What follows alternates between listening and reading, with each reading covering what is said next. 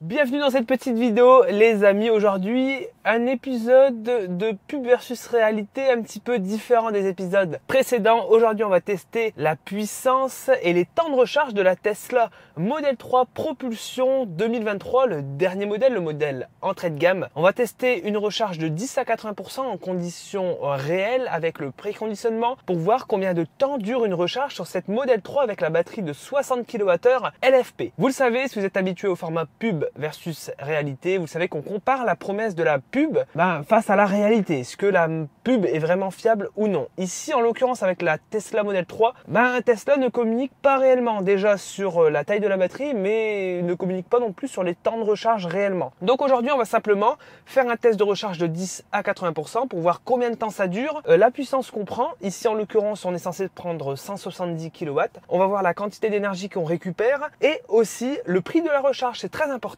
pour justement euh, voir un petit peu où on se situe face à, la concurrence et face au modèle aussi que j'ai déjà eu l'occasion de tester. Avec cette modèle 3 propulsion, j'ai eu l'occasion de réaliser deux autres vidéos, donc un road trip et une vidéo essai bilan. Je vous invite à regarder tout ça, c'est très important aussi pour que vous puissiez avoir mon ressenti face à la modèle 3 que je n'avais encore jamais essayé jusqu'à présent. On se situe ici en région parisienne, on est au chargeur de Vélizy 2 donc superchargeur Tesla. Ce qui est bien, c'est qu'on a tout euh, directement les informations d'afficher ici sur l'écran, donc tout ce qui est tarif, disponibilité des bornes, ça c'est cool. On voit qu'ici sur 16 bornes, il en reste, euh, il en reste 9 disponibles. On a la puissance, on a aussi parfois euh, l'affluence, s'il y a du monde ou pas. On peut lancer la destination directement dans le GPS qui va permettre de lancer le préconditionnement de la batterie. On a même des informations ici comme des photos et aussi l'indication toilette, restauration, Wi-Fi, etc. Donc on a vraiment toutes les informations. Ici au niveau du tarif, on le voit que les tarifs fluctuent en fonction de l'heure. On a un tarif de 31 centimes euh, ici aux heures creuses et de 34 centimes aux heures pleines, donc entre 18 et 22. 34 centimes du kilowattheure euh, au plus haut, c'est vraiment pas cher, c'est donné même. Au niveau ici de mon test, et eh ben en fait je vous ai menti, et oui je vous ai menti puisque j'ai pas 10% de batterie j'ai 12% de batterie. Donc on va tout simplement faire un test de recharge de 12 à 82% de batterie. C'est le, test conventionnel, hein, ce qui permet d'avoir vraiment le max de puissance. Ici donc 170 kW. Donc voilà les amis, je vais me brancher, je vais mettre la petite GoPro ici là. Alors chez Tesla pour lancer une recharge c'est tout simple, il suffit de brancher la voiture tout simplement. Donc c'est ce que je vais faire. Hop, je vais vous filmer ça.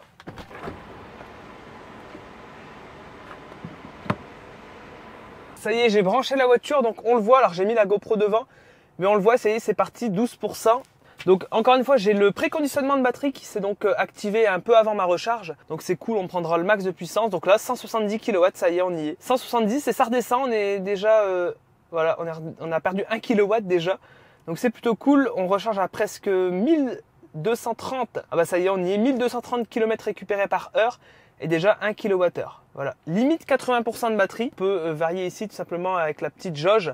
Alors c'est étonnant parce que tout à l'heure la limite était à 100%. Alors je sais pas pourquoi elle s'est mise à, à 80 toute seule. Je sais pas. Bonne question, honnêtement. Les pros Tesla sauront me répondre. Et là, on a déjà 16% de batterie. Ça va très très vite. Alors, de mon expérience, parce que j'ai la voiture depuis 2-3 euh, jours maintenant, de mon expérience, euh, la courbe est plutôt bonne sur cette voiture. C'est-à-dire que même à haut niveau de batterie, on prend quand même de la puissance. On est ici sur une batterie 60 kWh LFP et dans des bonnes conditions, puisque c'est un petit peu le, prérequis sur une batterie LFP pour prendre le max de puissance. C'est-à-dire qu'il faut que la batterie soit chaude, mais quand une batterie LFP est chaude, on prend vraiment de la bonne puissance et avec euh, une très très bonne courbe. C'est-à-dire que même sur des arrêts qui sont finalement pas très longs, on recharge quand même la batterie quasiment euh, à 90 voire plus. Donc vous le voyez, voilà 20 minutes, 139 kW. Voilà, donc c'est parti. On y est. Donc c'est plutôt cool. Et j'en profite durant ma recharge pour vous parler tout simplement de l'application Encharge. Merci à eux puisque Encharge bah, sponsorise cette vidéo, ce qui me permet de financer les futurs projets et de continuer à développer la chaîne. Encharge, vous les connaissez peut-être déjà puisque j'ai déjà réalisé quelques vidéos avec eux. C'est tout simplement une application disponible sur iPhone et sur Android qui vous permet tout simplement de faire des économies lors de vos recharges en véhicule électrique. Si vous voyagez beaucoup et que vous faites beaucoup de supercharge sur un trajet, vous pouvez tout simplement utiliser l'application Encharge qui vous permet tout simplement de réaliser des défis, des challenges lors de vos recharges, mais pas seulement. C'est-à-dire que si vous ouvrez l'application Encharge que vous voyez en ce moment même sur l'écran, voilà, vous avez une petite interface comme ça, sympathique, avec en haut simplement un nombre de kilomètres et un nombre de points que vous allez accumuler tout simplement au fur et à mesure de vos défis. Les défis, c'est quoi finalement dans l'application? Bah, C'est simplement de mettre une petite note sur votre expérience. C'est-à-dire que là, par exemple, je me recharge chez Tesla, bah, je vais mettre une petite note, je vais mettre un petit avis tout simplement euh, avec euh, bah, tout simplement la recharge, mon expérience un petit peu de, de, recharge. Donc voilà, je peux tout simplement mettre que tout s'est bien passé. Et là, je gagne des points, des kilomètres. Voilà, je réponds à quelques petites questions tout simplement, ce qui permet aussi d'améliorer les réseaux et de tout simplement informer les autres utilisateurs de l'application si le réseau est bien, si le réseau est fiable, si la station fonctionne. Vous pouvez répondre à toutes ces questions et tout ça sera directement visible par les autres utilisateurs. Vous voyez, je gagne des points qui s'accumulent dans l'application. Et en plus, ce qui est bien, c'est que vous n'êtes pas obligé de vous recharger pour pouvoir réaliser les défis. Tout simplement, par exemple, chez Unity, vous pouvez faire un petit check de la station, prendre des photos, etc. pour mettre tout ça dans l'application pour que ce soit encore une fois visible par les autres utilisateurs sans avoir à vous recharger. Donc ça, c'est plutôt cool. Et là, vous allez me dire, bah Max, qu'est-ce qu'on fait avec tous ces points et tous ces kilomètres accumulés? Eh bien, vous pouvez tout simplement les convertir, les échanger contre des bons d'achat avec les boutiques tout simplement partenaires dans l'application. En plus, vous pouvez maintenant euh, tweeter depuis directement l'application, donc publier votre check sur Twitter, ça se fait directement depuis l'appli. Je vous invite vraiment à télécharger l'application, à utiliser l'application, ce qui permettra encore une fois d'améliorer le réseau. Moi, je remercie Encharge pour ce soutien à la chaîne et nous on continue avec la suite de la vidéo. On va faire un premier petit point tout simplement sur notre recharge. Ça fait 7 minutes qu'on est tout simplement euh, branché. Tout simplement, on est à une puissance de 118 kW, qui est encore très propre. On a 40% de batterie. Je vais couper la recharge à 80%. Hein. On verra un petit peu combien de temps ça a duré. 17 kWh de récupéré. Et là, la voiture vous indique tout simplement le temps restant. Et là, elle indique 14 minutes. 14 minutes pour arriver à 80%. En l'occurrence, ici, le temps restant euh, varie en fonction aussi de votre prochain arrêt. Par exemple, si vous faites un road trip et que vous avez rentré à vos destinations bah, dans le GPS, lancez un, un, itinéraire dans le planificateur, et ben la voiture va vous dire OK, dans 5 minutes, vous pouvez couper la recharge pour aller vers votre prochain arrêt recharge. Donc, euh, par exemple, parfois la voiture vous dit OK, c'est bon, dans 5 minutes, vous pouvez repartir. Pas la peine de recharger à 80% systématiquement, bien entendu. Donc voilà, c'est plutôt cool. On est déjà presque à 20 kWh récupérés. Moi, je vous reprends tout à l'heure lorsqu'on arrivera euh, bah, tout simplement aux 80% pour faire le premier petit point et le petit débrief de combien ça nous a coûté tout ça. À tout à l'heure.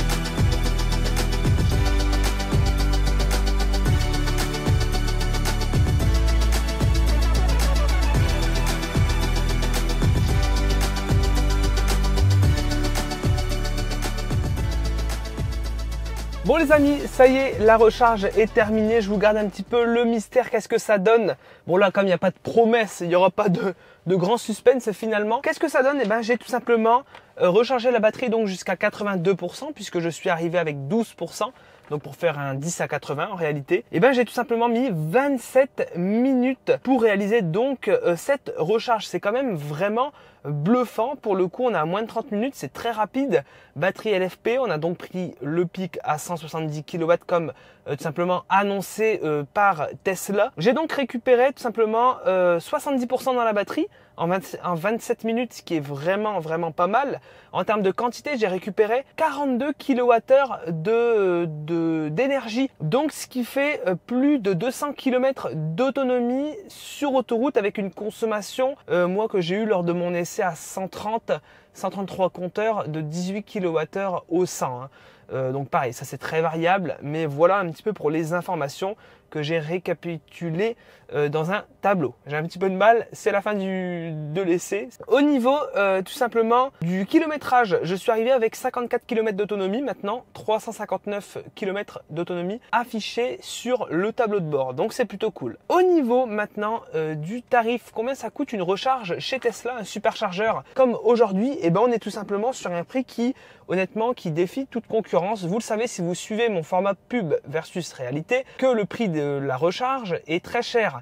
Moi, souvent, je fais mes tests chez Ionity. Ionity, on a 69 centimes du kilowattheure. Si vous utilisez une carte de mobilité, vous paierez encore plus cher. Donc, c'est quand même embêtant. On se retrouve facilement hein, avec 30 voire plus euh, euros pour une recharge complète. Donc, c'est vraiment très embêtant. Ici, j'ai tout simplement payé 13 euros et 2 centimes ma recharge pour 41 kWh de batterie, enfin d'énergie. C'est vraiment euh, très correct, je trouve. Ce qui fait un coût au 100 km de 5 euros et 58 centimes tout simplement avec une conso de 18 kWh au 100 on peut optimiser encore ce coût euh, en, le diminuant tout simplement en roulant moins vite ou euh, avec des conditions encore meilleures que ce que j'ai aujourd'hui, même si j'ai vraiment des conditions idéales aujourd'hui lors de mon tournage. Donc voilà, globalement, euh, c'est vraiment assez exceptionnel, c'est assez fou. Cette voiture, sur tous les aspects, de tout ce qui est de tout ce qui fait les qualités d'une voiture électrique, cette voiture est fabuleuse. Tesla, bah, clairement enterre la concurrence, il faut le dire, il faut être honnête. Je vais pas vous le cacher. Tesla est largement au-dessus de tout ce que j'ai pu tester. Bah écoutez, c'est vraiment top. Je suis vraiment euh, plutôt conquis par cette voiture. 27 minutes, voilà. Alors ça variera l'hiver, bien entendu. Ça, risque d'être un petit peu plus long. On mettra peut-être 30 minutes. Mais voilà, globalement sur long trajet, les arrêts s'enchaînent rapidement, les arrêts sont plus courts, plus dynamiques, et puis vous avez largement le temps de quoi faire en, en 27 minutes. Hein. Vraiment, c'est euh, tranquille à ce niveau-là. Donc voilà, euh, j'espère que cette vidéo vous a plu. Merci à Charge encore de l'avoir sponsorisé, ça fait vraiment plaisir. J'espère aussi que ce format vous a plu. N'hésitez pas à regarder les autres vidéos que j'ai faites avec la modèle 3, bah, tout simplement qui sont en description. Et moi, je vous dis à la prochaine dans une prochaine vidéo. Ciao